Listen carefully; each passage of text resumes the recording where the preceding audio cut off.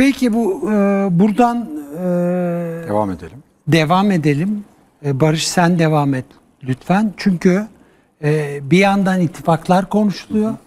Öte yandan işte İyi Parti'nin alacağı tavır ki e, biraz sonra e, MHP'nin İyi Parti'ye yaptığı çağrı ve bu konuda Semih Hoca'nın e, yayından önce konuştuğumuz ve aktardığı bilgileri ben de aktaracağım.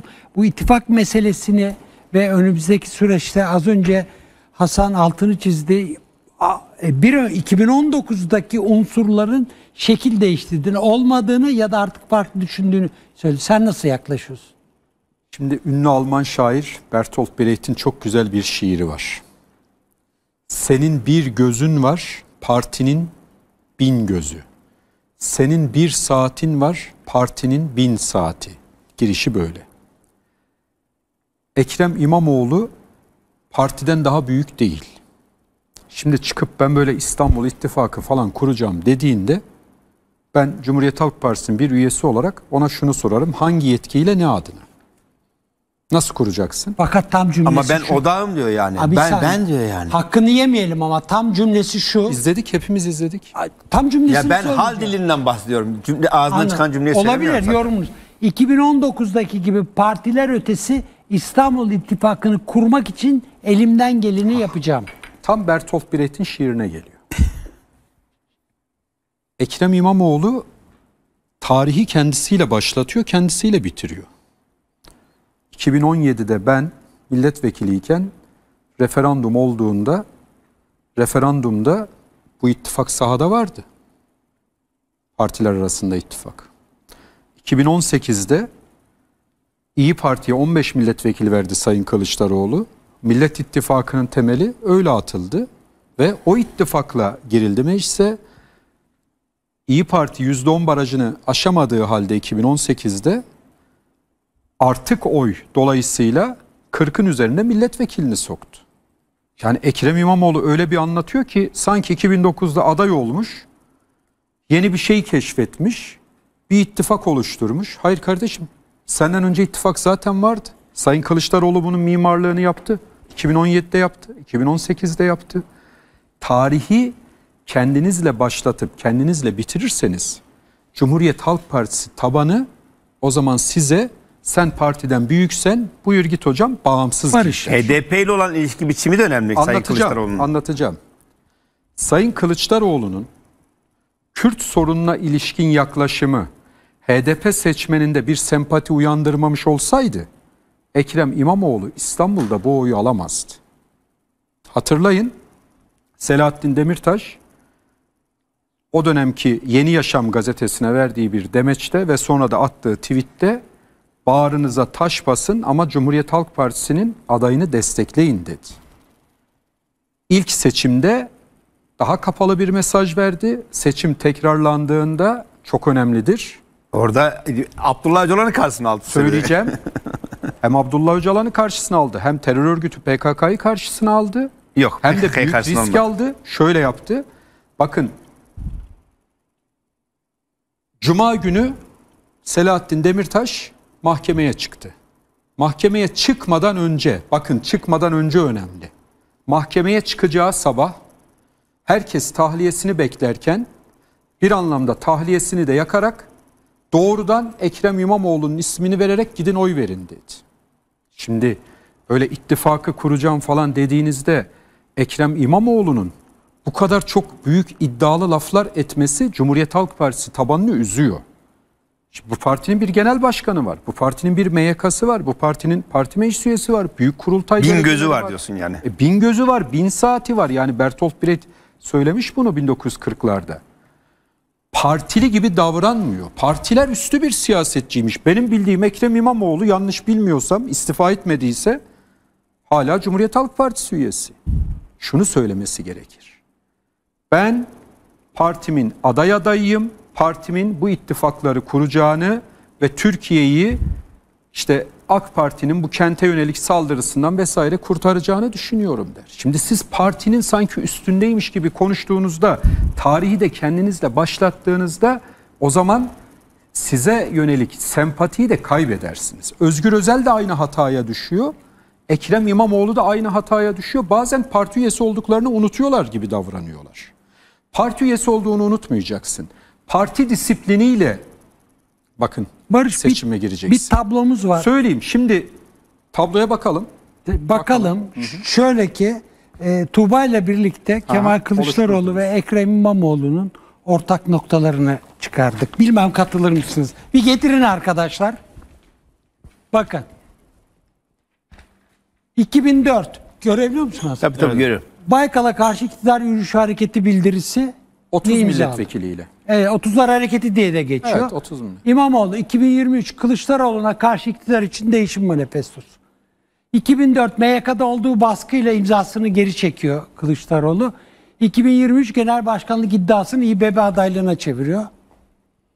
2009 İBB adayı oldu ve kaybetti. 2019 İBB adayı oldu ve kazandı. 2010 CHP Genel Başkanı seçildi. 2024 İBB aday adayı şimdilik. 2023 Cumhurbaşkanı adayı. 2028 Cumhurbaşkanı adayı mı? Tamam. Aslında bir de şöyle bir şey var. Şu çerçeveden de bakmak lazım belki. Deniz Bey'in partiye getirdiği Kemal Kılıçdaroğlu Deniz Bey'in başarısız olduğu iddiası ya da partinin iddiasıyla değişim çağrısı yapıyor o zaman. Ne dersin bu kıyasa? Ya Ekrem İmam bak Ekrem İmamoğlu hiçbir zaman net bir hedef koymuyor. Ben geçen gün dedim ki bizim Pınar'ın programında. Hani burada gazeteci arkadaşlarımız var. Netlik ayarı yapardık eskiden değil mi? Fotoğraf makinalarında. Netlik ayarı. Ekrem İmamoğlu'nun konuşmalarında bir netlik ayarı yok. Yani Otomatik de belki. Yani otomatik almış. otomatik olsa anlardık. En azından karşımıza dijital de olsa bir net fotoğraf çıkardı. Ekrem İmamoğlu net bir söylemde bulunmuyor, net bir tavır koymuyor ve herkes Ekrem İmamoğlu acaba ne demek istedi diye kafa yoruyor. Şimdi bu ne demek? Bu senin hedefinin net olmadığının işaretidir. Kardeşim çıkarsın. Sayın Muharrem İnce nasıl çıktı? 2014'te ben genel başkan adayıyım dedi. İmza topladı. Aday oldu. Kaybetti olabilir. 2018'de ben milletvekiliydim. Kendisine oy da vermedim kurultayda. imza da vermedim. Bunu çıktım televizyonda da söyledim. Net tavır koydum. Akşam Muharrem İnce ile çay içip sabah genel başkanı ziyaret etmedim mesela. Gittim kafadan Muharrem abi de bilir. İmza da vermedim, oy da vermedim. Sayın Kılıçdaroğlu'na verdim. Net çıktım televizyonda da dedim ki ben kardeşim Sayın Kılıçdaroğlu'nun genel başkan olarak devam etmesini Yani istiyorum. Grup Hiç- başkan vekilinden de istifa, istifa etmişti etti. Sayın Hiçbir yere de aday olmadım. Parti meclisine falan da aday olmadım. Televizyonda da çıktım arkadaşlarımıza, milletvekili arkadaşlarımıza dedim ki hepinizin parti meclisi aday olmasına gerek yok. Partide çok değerli arkadaşlar var. Onlar yönetime girsin. Siz zaten milletvekili olmuşsunuz. İpek Hanım'ın da hatırlattığı üzere doğru bir tavır yaptı, koydu. Gitti Sayın Genel Başkan'la konuştu Muharrem İnce. Dedi ki ben genel başkanlığa aday olacağım. Senin vekilliğini de emanet etmiştin bana. Geriye veriyorum dedi. Çıktı aday oldu. İlçeleri dolaştı, illeri dolaştı. Kampanya yaptı ama kazanamadı.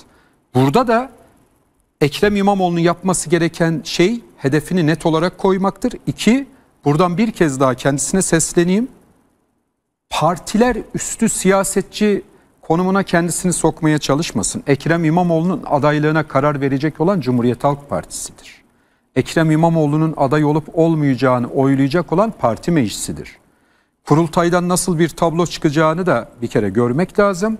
Ben böyle İstanbul İttifakı'nı kuracağım, yola çıktım vesaire vesaire dediğinizde ya biraz kibir oluyor tamam mı? Bu kibri de Türk seçmeni sevmiyor Erdoğan Aktaş. Kar tatiline gittiğinde kendisini eleştirdim dostça Habertürk'te. ben- Eleştiren ben- tek ben- gazeteciyim. ben oradaydım. Muhalif olarak. Ya ben- tek tek evet, o gazeteciyim. yayın.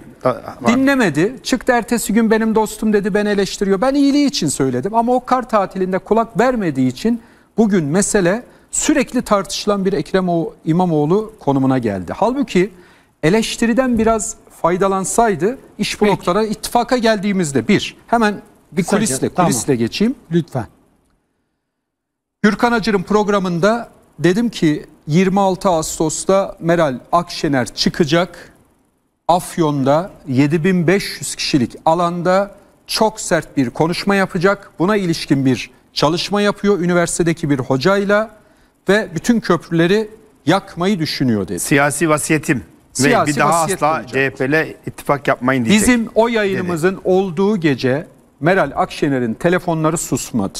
Hem o gün hem ertesi gün. Her yere manşet olmuştu. Ve kendisini arayan efendim bu bilgiler doğru mu diyenlere de tırnak içinde biraz sert cevaplar verdiğini de biliyorum. Fakat bizim o geceki yayından sonra esas infial İyi Parti tabanında oldu. Ve İyi Parti tabanı parti yönetimine baskı yaparak sakın böyle maceracı sonu olmayan ve kaybetmeye odaklanmış adımlar atmayın dedi. Mesaj yerine Kısaca ulaştı yani. geçiyorum. Mesaj yerine ulaştı. Bizim yayındaki mesaj yerine ulaştı. Yayın ses Meral getirdi. Akşener'in tarihi bir hata yapmasına biz engel olduk. Şimdi ne oldu? Kısaca özetleyeyim uzun konuştum. Meral Akşener kendisini ziyaret eden milletvekillerine ilginç sözler sarf ediyor. Bugün İyi Parti'den önemli bir isimle konuştum yayına gelmeden önce. Dedim ki akşam yayına gidiyorum. Son hava nedir dedim. Vallahi dedi son havayı sana özetleyeyim. Sizin dedi o yayından sonra parti teşkilatlarında ya kardeşim biz hiçbir şeyi kazanamayacaksak niye bu seçimlere giriyoruz diye bir hava oluştu. Meral Hanım da bu havayı gördüğü için Ankara, İstanbul ve İzmir'i ittifak görüşmelerinde kendisine ayırdı. Hatta dedi önemli olan burası yanlış olmasın diye de not aldım konuşma. Kendisini ziyaret eden vekillere CHP'nin iç işlerine karışmayın. Hiç kimse Cumhuriyet Halk Partisi'nin iç işlerine karışarak yorum yapmasın. Biz kendi partimizi büyütelim. Kemal Kılıçdaroğlu'na saygısızlık olarak algılanabilecek sözleri de hiç kimse etmesin tavsiyesinde bulunuyor dedi. Ben de İyi Partili kaynağıma şunu sordum.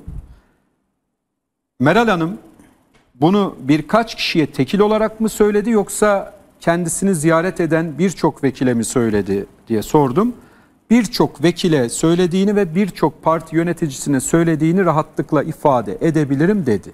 Fakat Hacı'nın söz hakkından bir bir dakika istiyorum. Gecenin kulislerinden biri olduğu için.